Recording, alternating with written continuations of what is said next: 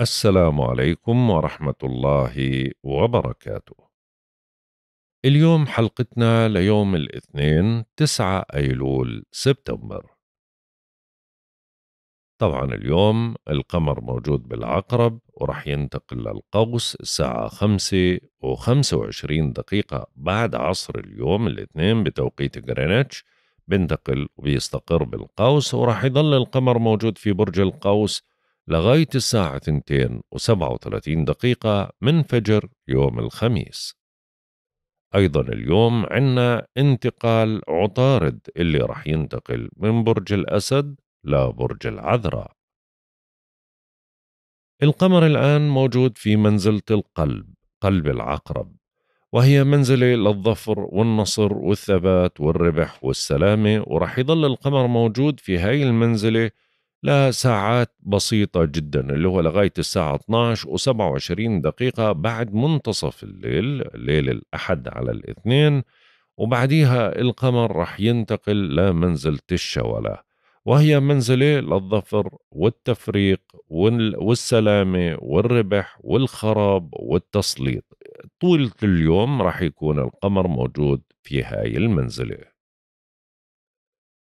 القمر بما إنه من الآن وحتى ساعات العصر موجود في برج العقرب اذا منضل على الطبيعة اللي هي لا بنعرف فيها حل وسط يا أبيض يا أسود لأنه بالفترة هاي يا بنحب يا بنكره يا بنتقرب يا بنبعد يا بنتواصل مع الغير يا بنقطع العلاقات. ما في حلول وسط عندنا. وبيلعب الجنس دور مهم في حياتنا. إحنا بحاجة للتحكم في عواطفنا وتصرفاتنا بشكل جيد وخاصة الأشخاص اللي بيعانوا من مشاكل أو ضغط عاطفي لأنه ممكن إنهم ينفجروا عند أي مواجهة أو كلمة أو انتقاد في من حولهم. بإمكاننا نستغل هاي الساعات لغاية ساعات ما بعد العصر بما يتعلق بشركات التأمين أو الضريبة أو البنوك. أو قراءة رواية أو مشاهدة فيلم مغامرات أو اتخاذ قرار مهم أو شراء منزل أو استئجار منزل مثلا. بالنسبة للزوايا الفلكية طبعا أول حدث رح نتكلم عنه وهو انتقال عطارد من برج الأسد لبرج العذراء الساعة 6 و49 دقيقة صباح اليوم الاثنين رح ينتقل بتوقيت غرينتش طبعا ورح يضل موجود في برج العذراء للساعة 8 و8 دقائق صباح يوم الخميس 26 9 منكون أكثر قدرة على التركيز والتفكير بالفترة القادمة على عكس الفترة اللي كان يتراجع فيها آه، خلال الفترة القادمة مواليد برج العذراء بيشعروا بالرغبة بالدراسة والمطالعة والقدرة على إقناع الآخرين بوجهة نظرهم وبتكثر عندهم الاتصالات والتنقلات بيستفيد معهم أيضا مواليد الأبراج الترابية والمائية اللي هم مواليد برج الثور والجدي والسرطان العقرب الحوت وكل شخص آه، لما انولد كان موجود عنده عطارد في برج العذراء. طبعا الحلقة الكاملة وتأثيراتها على جميع الأبراج مع الزوايا صارت موجودة على القناة. أما بالنسبة للزاوية التي تليها وهي زاوية تقابل سلبية بين القمر وبين أورانوس هاي الزاوية راح تكون الساعة 11 و58 دقيقة ظهرا بتوقيت غرينتش. بتخلق لدينا شعور بالملل من أي عمل روتيني فيفضل أخذ فترة من الراحة لاستعادة نشاطنا من جديد. ممكن يفاجئنا البعض بشيء غير متوقع بشكل سلبي وممكن يصدر منا ما هو غير متوقع اتجاه البعض. كذلك كتصرفات منا تكون سلبية. بتجعلنا سريعين التأثر عنيدين غريبين الأطوار. ممكن تعرضنا لتغييرات مفاجئة في الرأي أو العواطف وبتدفعنا للعلاقات العابرة اللي ممكن إنها تعرضنا للفراق. أما بالنسبة للزاوية التي تليها وهي زاوية تثليث إيجابية بين القمر وبين نبتون هاي الزاوية راح تكون الساعة ثلاثة وست دقائق عصرا بتوقيت غرينتش. بتعزز الخيال الخصب وبيقوى الحدس عليه فإن أكثر المستفيدين هم اللي بيعملوا بمجالات ذات صلة بذلك كالفن والديكور والتجميل. وهذا الوقت وقت مناسب للراحة. خلال هذا اليوم بتزيد حساسيتنا ورومانسيتنا وبتمنحنا كفاءات وخصوصا للأشخاص اللي بيشتغلوا في المجال الفني أو التمثيل أو الروحانيات. أما بالنسبة للزاوية التي تليها وهي زاوية تسديس إيجابية بين القمر وبين بلوتو هاي الزاوية رح تكون الساعة 5 و11 دقيقة بعد العصر بتوقيت غرينتش. بتعزز قدرتنا على السيطرة على مشاعرنا وأفكارنا ومنتمكن من الغوص عميقا في نفوسنا وإحداث التغييرات المطلوبة وبتمنحنا حكم صائب ومواهب روحانية وبتدفعنا للإبداع. بعد هاي الزاوية مباشرة بيبدأ عنا خلو المسار السلبي للقمر اللي رح يبدأ الساعة 5 و11 دقيقة بعد العصر بتوقيت غرينتش. ورح يستمر حتى تمام الساعة 5 و25 دقيقة بعد العصر بتوقيت غرينتش يعني مدته 10 دقائق تقريبا. وهذا بيعني إنه الفترة المذكورة آه، لا تصلح للبدء بأي عمل جديد أو مهم مثل توقيع عقد أو خطوبة أو زواج أو شراء شيء ثمين بل إكمال العمل اللي بدأنا فيه قبل خلو المسار. طبعا رح يجي أشخاص يقول لك أنت حكيت خمسة و11 دقيقة للخمسة و25 دقيقة بعد العصر هدول مش 10 دقائق هدول 14 دقيقة. يعني حبيت أني أسبق عليهم. الساعة خمسة وخمسة وعشرين دقيقة بعد العصر خلص القمر بينتقل بيستقر في برج القوس فبنشعر بالارتياح والسعادة والنشاط وبنلتقي بأناس سعادة وبنتعمق في شخصيتنا بفضل تفاؤلنا والطاقة العالية وبيتحول تفكيرنا إلى عالم الفلسفة والدراسات الدينية والتحليل العميق في كل شيء بنميل أيضا للسفر للإجازات لممارسة الرياضة الخروج في نزهات ويمكننا اقتراض المال أو تعلم لغة جديدة أو ممارسة هواية أو تجربة حظنا أو التخطيط لرحلة أو الاتصال بشخص خارج البلاد. وتعتبر هاي الفترة ممتازة للأعمال التجارية. أما بالنسبة للزاوية التي تليها وهي الأخيرة زاوية تربية سلبية بين القمر وبين عطارد هاي الزاوية راح تكون الساعة 6 و 49 دقيقة مساء بتوقيت غرينتش. بعض الأشخاص بيشغلوا فكرهم في استحضار ذكريات من الماضي لا طائل منها وبتجعلهم مزاجي الطباع وهي مصدر للتوتر وخصوصا للأشخاص اللي بيكونوا متعبين من زيادة الضغط أو الأحمال فعشان هيك ممكن يتعرضوا لبعض الحوادث وما بنحسن التحكم في أفكارنا وكلامنا وذاكرتنا. بالنسبة للأعضاء اللي في جسمنا الأكثر حساسية واللي لازم نوفر لها العناية الإضافية وما لازم نعمل عمليات جراحية كبرى لإلها إلا إذا كانت اضطرارية ولكن فحوصات أو تنظير أو مراجعات طبية ما في أي مشكلة.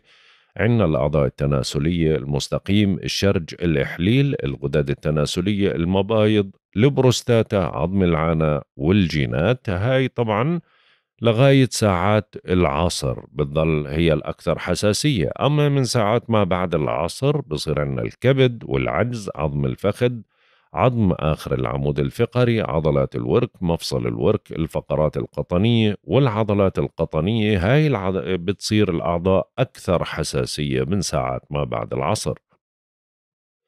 بالنسبة لباقي أعضاء الجسم طبعا ما في أي مشكلة لإجراء العمليات الجراحية خلال هذا اليوم. مناسب أيضا لعمليات التجميل مثل الحقن والجراحة. لا يصلح لإزالة الشعر الزائد بالليزر.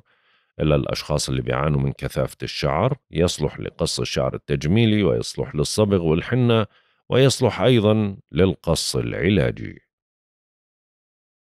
القمر بما إنه رح يستقر في برج القوس خلو المسار القادم بيكون يوم الخميس بيبدأ الساعة 12 و20 دقيقة بعد منتصف ليل الأربعاء على الخميس. وبيستمر حتى تمام الساعة 2 و37 دقيقة فجر يوم الخميس بتوقيت غرينتش.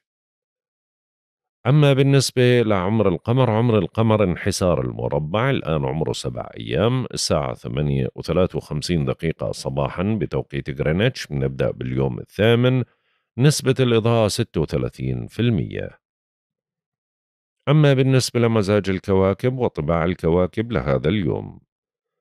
الشمس في العذراء حتى يوم 22 تسعة منتحسة الآن بنسبة 25% ساعات الفجر منتحسة بنسبة 40% القمر في العقرب زي ما ذكرنا لغاية ساعات ما بعد العصر وبعديها بده ينتقل للقوس ورح يضل بالقوس ليوم 12 تسعة سعيد الآن بنسبة 15% ساعات الصباح منتحس بنسبة 10% عطارد في الأسد ورح ينتقل للعذراء ورح يضل في العذراء ليوم 26 تسعة سعيد بنسبة 10% الزهرة في الميزان حتى يوم 23 تسعة سعيد بنسبة 45% المريخ في السرطان حتى يوم 4 11 منتحس بنسبة 15% المشتري في الجوزاء حتى يوم 9 10 منتحس بنسبة 10% زحل في الحوت بيتراجع حتى يوم 15 11 منتحس بنسبة 10% أورانوس في الثور بيتراجع حتى يوم 30 واحد منتحس بنسبة 10% نبتون في الحوت بيتراجع حتى يوم 7 12 منتحس بنسبة 10% بلوتو في الجدي بيتراجع حتى يوم 12 10 منتحس بنسبة 10% وصلنا للتوقعات اليومية. برج الحمل. بالنسبة لمواليد برج الحمل اليوم من لغاية ساعات العصر ممكن يتغير الوضع لصالحكم مع شرط التحلي بالليونة والدبلوماسية في التفاوض. ممكن تضطر لتقديم بعض التنازلات أو تصحيح بعض الأخطاء أهم مش إنك تتقبل آراء الآخرين بدون تحفظ ممكن تنشغل بملف أو بمعاملة. أما من ساعات ما بعد العصر بتنشطوا في مسائل تتعلق بسفر أو اتصالات بعيدة أو علاقات مع أجانب وحاولوا أنكم تكونوا أكثر وعيا على الطرقات خاصة أثناء قيادة السيارة بين المدن. برج الثور بالنسبة لمواليد برج الثور طبعا من الآن وحتى ساعات العصر بتحمل لك هاي الفترة نوع من أنواع التوتر لأنها تعتبر من أكثر أيام الشهر ضغط. عشان هيك بدك تحاذر من الخصام ما تعادي أحد تجنب الخلافات كليا لأنه خصمك قوي وطباعك ما راح تكون هادئة. على مستوى الشراكة المالية والعاطفية أهم شيء ضبط الأعصاب. أما من ساعات ما بعد العصر بتعيدوا تنظيم أموركم المالية المشتركة أنجزوا الواجبات بدقة حتى ولو كثرت وحاولوا تنفيذها دون تردد وما تلتهوا بالأمور الثانوية. برج الجوزاء. بالنسبة لمواليد برج الجوزاء بترتاح لسير بعض الأمور من الآن وحتى ساعات العصر الأمور الروتينية بالرغم من كثافتها. ممكن يكون عندك بعض الأعمال الكثير اليوم اللي يعني ما تقدر إنك تتممها فعشان هيك اهتم بالأعمال الضرورية وراعي ظروفك الصحية. ممكن تعيد ترتيب الأوضاع أو تتحسن الأحوال أما من ساعات ما بعد العصر بترغبوا في تعزيز شراكاتكم ولكن بدكم تكونوا أكثر تفهما لوجهة نظرهم وحاذروا من الخلافات وما تضخموا الأمور. برج السرطان بالنسبة لمواليد برج السرطان فرصة مناسبة لتحقيق إنجاز خلال هاي الساعات من الآن وحتى ساعات العصر فعشان هيك حاول إنك تضع مخاوفك جانبا ما تتهرب من أي شيء. الأجواء مناسبة للتراقي للتعارف للحب للغرام وتعتبر فترة ما زال فيها بعض الحظوظ ولكن لا تفرض سلطتك على أحبائك أما من ساعات ما بعد العصر انتبه لصحتك أكثر بيبدأ العمل بالتراكم أكثر من المعتاد وبتجدوا صعوبة في إنجاز الكثير من أعمالكم. برج الأسد. بالنسبة لمواليد برج الأسد لا تسمح لبعض الالتباسات العائلية أو الشخصية بأنها تأثر على استقرارك من الآن وحتى ساعة العصر. ممكن تنهمك بحل مسألة عائلية أو شخصية أو ممكن تبدو قلق أو تتذمر لأقل إشارة.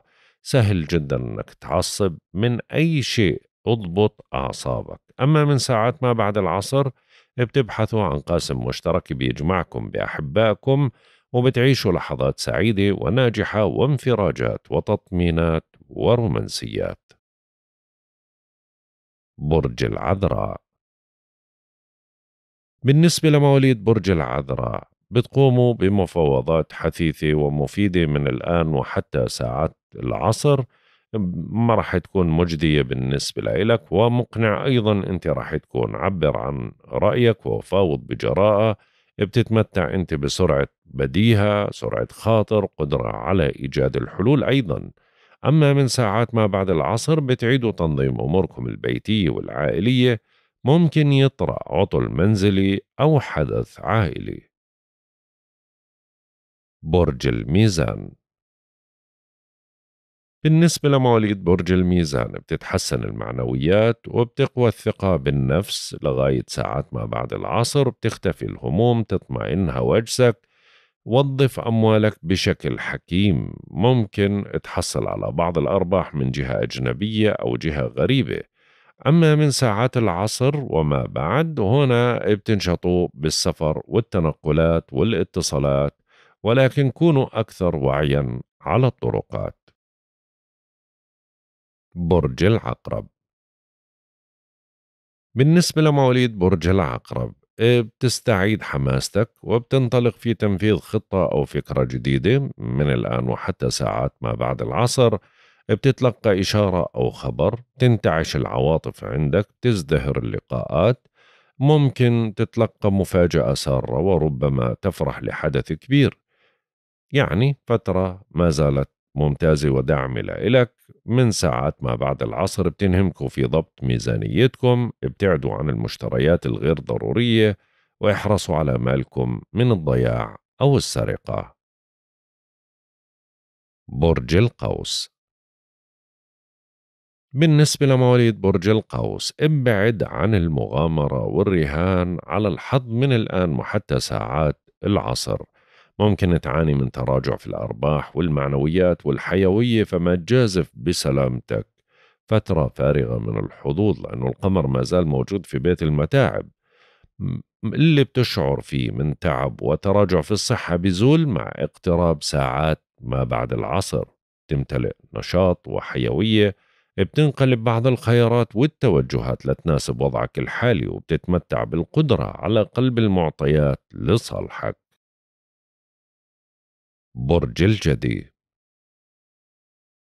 بالنسبة لمواليد برج الجدي ما زالت فترة مميزة للتحالف وللتعاون وللمشاركة الفعلية من الآن وحتى ساعات ما بعد العصر فحاول إنك تقتنص الوقت هذا لاعلان رأيك أو للحصول على موقع معين أو التفاعل مع المسؤولين ولكن حاول إنك تتعامل معهم بمرونة.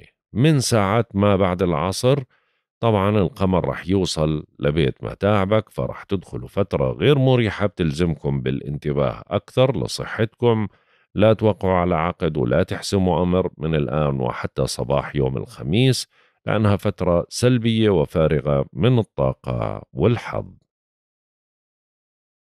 برج الدلو. بالنسبة لمواليد برج الدلو طبعا بدكم تحافظوا على هدوءكم. حاولوا إنكم تبعدوا عن المشاكل قدر الإمكان. هاي فترة مهمة بتمتحنك من الآن وحتى ساعات ما بعد العصر. أهم شيء إنك ما تضعف وما تستسلم وما ترتكب الأخطاء. وحافظ على رصانتك وتمسك بمسؤولياتك. أيضا خلي تعاملك مع المسؤولين مرن جدا وما تغامر وما تجازف. من ساعات ما بعد العصر بتنشطوا بين الأصدقاء منكم أشخاص ممكن يشاركوا في حفلة أو مناسبة سعيدة أو يتوجه لهم دعوة أو اتصال. برج الحوت بالنسبة لمواليد برج الحوت بتستعيد حماستك تنطلق في تنفيذ خطة أو فكرة جديدة من الآن وحتى ساعات ما بعد العصر. ممكن تتلقى إشارة أو خبر سار فهي أجمل اللحظات خلال هذا اليوم بتكون الفترة نشطة جدا وبتشكل لك محطة للانطلاق بورشة جديدة. أما من ساعات ما بعد العصر بتحافظوا على سمعتكم ومصالحكم الاجتماعية. وتعتبر فترة مناسبة للأشخاص اللي بيبحثوا عن عمل ولكن تجنبوا الخلافات واسعوا لتلطيف الأجواء. هيك بنكون انتهينا من توقعاتنا لهذا اليوم. والله أعلم. يا رضا الله ورضا الوالدين. سبحانك اللهم وبحمدك. أشهد أن لا إله إلا أنت. أستغفرك وأتوب إليك. أترككم في رعاية الله وحفظه. إلى اللقاء.